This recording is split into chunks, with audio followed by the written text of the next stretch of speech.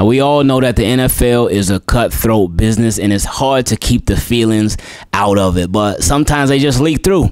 And in Patrick Queen's case, it seems like it is exactly what happened. He, of course, was drafted by the Baltimore Ravens in the first round of 2020 and he played with the Ravens for four years, and then he had his fifth year option decline. And then instead of going to a lot of other teams around the league, he had 31 other options he decided that he wanted to go to the Pittsburgh Steelers, that they made him the best offer. But what happened with Eric DeCosta and John Harbaugh? Well, we've talked about it before, but Patrick Queen, he brought it up again because he was speaking to the media, and we're going to go over exactly what he had to say because now this game just got that much more personal. Team, keep it clean before we get into it. Make sure you subscribe to the channel, turn your notifications on, and leave a like on the video. Oh, I know y'all about to go crazy with it today. I know y'all are. So without further ado, let's just get straight into it. So of course, Patrick Queen, um, him, current Pittsburgh Steelers, they gave him the best offer. But what happened with him and the Baltimore Ravens? What happened with that relationship? Patrick Queen said the following. Um, this came from Brooke Pryor, who covers the Pittsburgh Steelers. She said, linebacker Patrick Queen was introspective, talking about the emotions of playing his former team this week.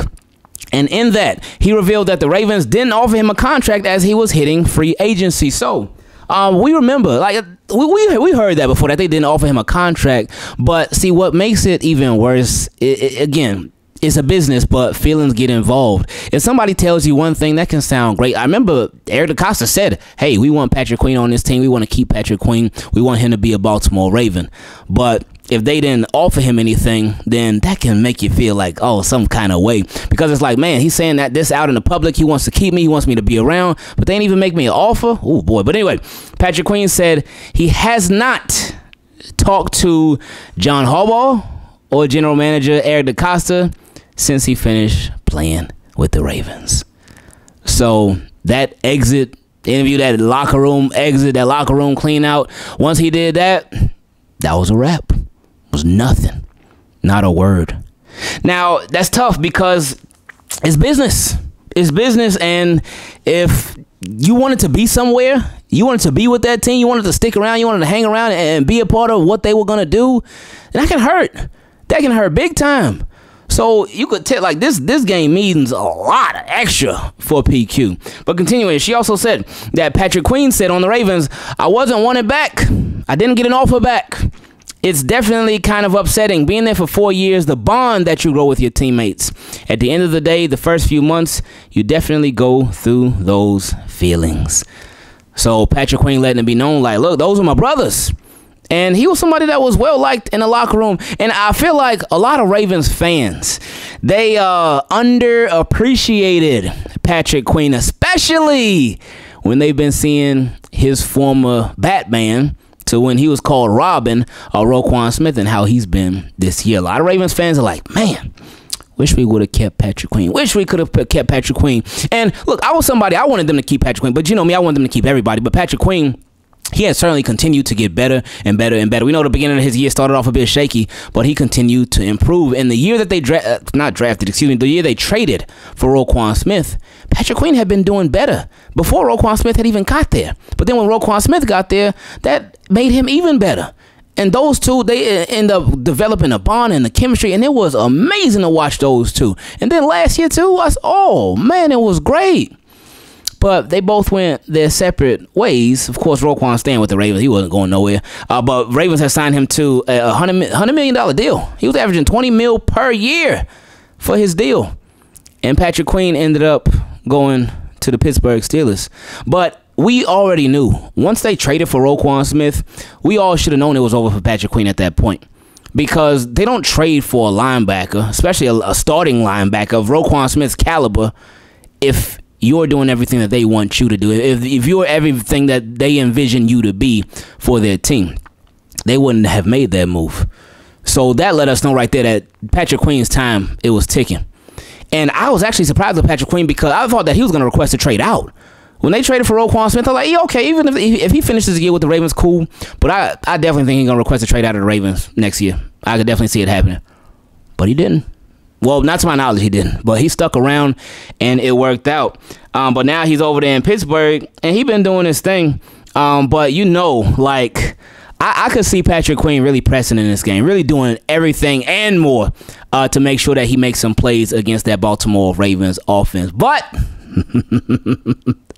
ooh, Ravens got something for you and somebody who is number 22. Because in order to defeat the Queen, we got to make a king come through. Now we've reached my favorite part of these videos where we get to feature your questions. Before we get into it, if you would like to be a part of it, you can send me an email, teamkeepitclean at gmail.com, or for the Team Keep It Clean patrons, you can send it directly on Patreon. Shout out to the, the little mirror angle. At first I was like, you know what? I ain't to have a mirror in a video, but I say, you know what? Whatever. Just a little something different. It may be a little distracting, but it is what it is. Anyway, uh, first question came from a Team Keep It Clean patron, my guy Keyonte. He said, what's good and great? We Wanted to give some of the newer people a chance to put questions in. Uh, I was on a roll. Nice to hear from the new Team Keep It Clean crew and some of their concerns. Now, to the nitty gritty, I hate the fire Harbaugh chants that keep recirculating. We got to realize perfection tapes takes time. Blaming Harbaugh for the defense is crazy because along with Orr, we have four new coaches: Doug Mallory, DB coach, Dennis Johnson, D line coach, and Mark DeLeone, inside linebackers coach, who have to all work together to create the defensive perfection we want to see or well we want to see.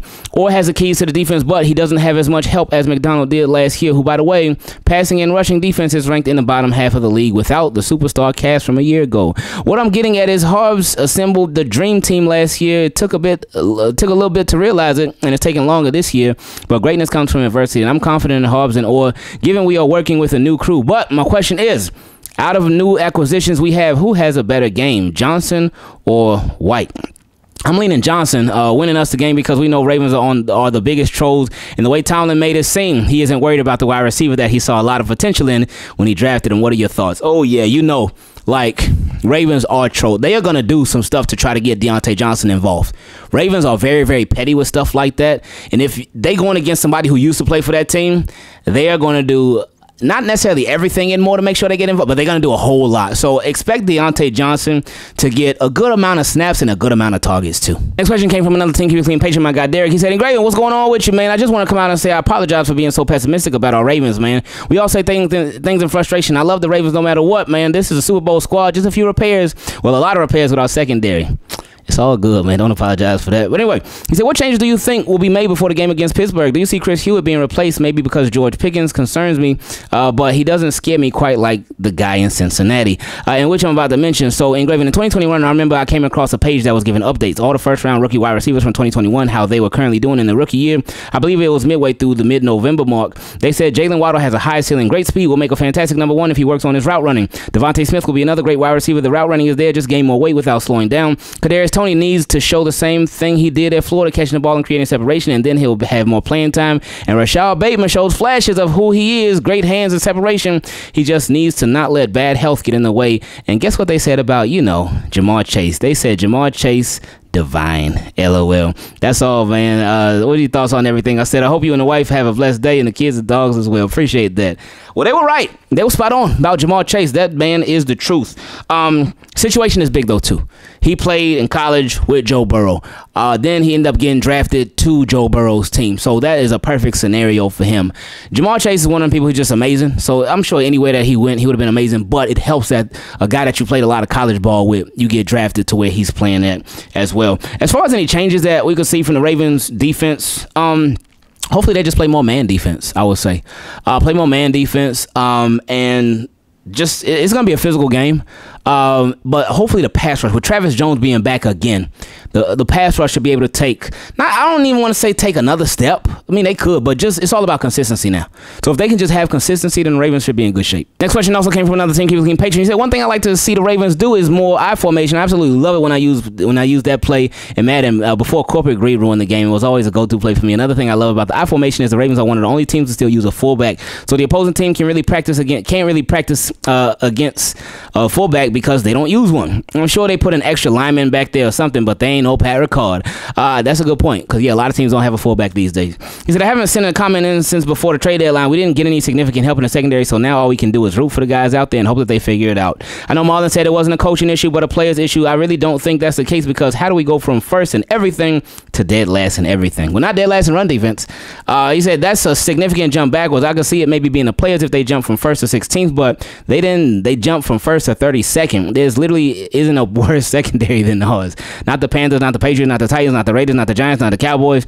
All of these bad or middling teams, uh, and you are behind those guys. I mean, come on, you're worse than the Panthers. How come on third down they always get the first down, but why does nobody ever pick up the running backs on the check down? It's it's frustrating. It's a crazy thing, and I I don't even know, but they they got to figure it out. Defense again. Next question came from my guy Eli. He said, "Shout out from Vancouver, Washington. Appreciate you, Eli." He said, "Hope you and your family are doing well." I'm so confused on why we are so trash at defending the pass this year. I know Hamilton went down with that injury, but man, it's hard to watch these games. Last few years, if we lost, it was most likely because we gave up turnovers on the offensive side, and now that our offense is on fire, our defense fell off. Uh, but I will say, Marlowe has been playing a lot better this year than he has in the past. We just need the rest of the guys to lock in. Yes, easier said than done, but you are spot on. We need everybody else to come through too. Next question came from my guy E9. He said, "Hey, Graven, hope you and the family are doing well. Been watching your vids as usual, and your concern for the defense is real. I think it's all of our concern." He said, "I just checked the stats from last season, and in 2023, the Ravens have allowed six rushing touchdowns for 1,860 yards and 18 receiving touchdowns for 3,263 yards for the entire season. So far in 10 games in 2024, we have already allowed seven rushing touchdowns for 730 yards. Oh, and 22 receiving touchdowns for 2,949 yards. Wow. So just 300 yards less than the entire last year already in 10 games this year. Oh, he said, why? I wanted to get your thoughts on the issue, and I'm going to use general everyday work experience as the analogy for my question, so please bear with me. In a typical everyday job, if a top performing department in an organization has a manager that leaves the company and moves on for a better opportunity, a la Mike Macdonald, he or she is replaced by a current shift supervisor, Zach Orr. Uh, the staff basically remains the same, minus PQ, Geno Stone, and Clowney, but productivity and quality in the department drops off significantly, but putting the entire company at risk? Is it because A, the new manager is trying too hard to put his own stamp on things and refuses to follow the old manager's proven plan? That could be part of it, because what what's been the biggest the biggest change has been Zach Orr. He's t- taking over the defense, and, and uh, there have been a lot of other po- position coach changes too. But he's been the, the biggest change, and I, I, remember going into this season like, oh yeah, the defense they should pretty much be the same. They, they, they got pretty much the same people. They did lose some significant guys like a Jadeveon Clowney, like a Geno Stone, like a Patrick Queen, but they should be straight. Um, and the defense, yeah, he'll put his own stamp on things, but it'll pretty much be the same defense. He ain't gonna fix something that's not broken.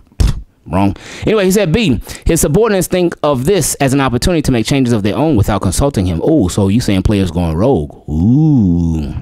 He says "See, He doesn't have the respect of his subordinates because he was once one of the boys. I actually feel like that can give you more respect if you were one of the boys. Because a lot of times, and I know me before when working like a more normal job, I would like the managers who had been where I was at before because they could relate more. If, if a manager had never done what I was doing, then I'd be like, oh, they, they, they don't really get it. But I feel like you can relate more if somebody's done what you've done.